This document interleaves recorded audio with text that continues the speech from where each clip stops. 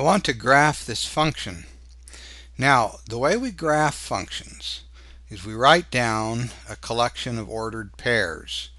Then we graph the individual ordered pairs and then we connect those up with a curve and that gives us what we think the graph of the function should look like. So first of all I need to find the ordered pairs. Here's a table of ordered pairs. The ordered pairs are negative 2, 14, negative 1, 1, 0, 0, 1, negative 1, and so forth. So when x is negative 2, y is 14. How do I find these? I just pick particular values of x, plug them into this formula, and see what comes out for f of x, which I'm denoting as y.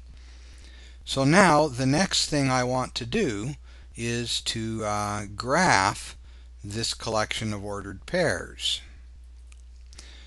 So here they are graphed. There's negative 2, 14. You see here's 14 up here. Uh, negative 1.5 and something in here, and negative 1 and 1 and so forth. Now you can kind of see what the, what the curve is going to look like. It's going to come down like this, it's going to follow these around, and it's going to dip down and come back up, and it'll go around like this, and then it'll, it'll follow the rest of these down. You could, uh, you could always uh, graph more points until you get a good idea of how close um, the this would be and whether you have the right idea for the curve.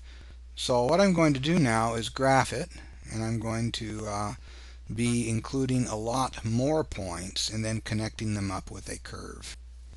So here's what it looks like when you start connecting these points up. Uh, the, the picture got chopped off a little up at the top, but you can see what's happening. It's going through these points that we graphed earlier. And it's just like we thought it would do. It kind of comes down and dips down a bit and then comes up and then goes back down again.